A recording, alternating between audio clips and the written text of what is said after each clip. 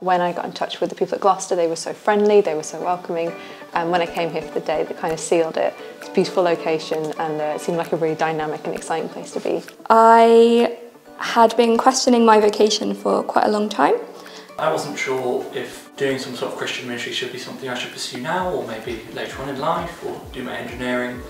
So I thought I'd take a gap year and figure it all out. Before I went into official training, I wanted to get some more experience in the church and widen my understanding both of God and the church, but also of myself.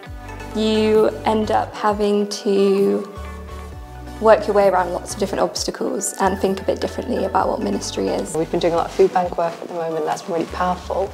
And I'm planning services, I'm helping to lead services, engaging in pastoral work, I've engaged in like things like funeral ministries and baptism. The first time I did that was been massive for me.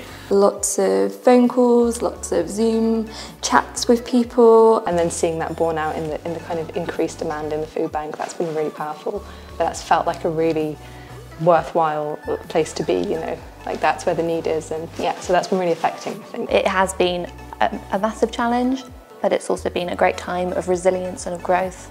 I think we're really realising what's important and life-giving to us. I have found my own faith rather than having faith piggybacked off my parents. Oh, it's been great fun. It's been really nice. I've lived in house shares before, but this one definitely feels more like a community, like a family. There's also been lots of silliness and lots of fun too. and of course there are always arguments sometimes about who hasn't washed up the dishes or whose turn it is to take out the bins. But no, it's just a great sense of community and of people being there whether you're feeling high or low and come beside you.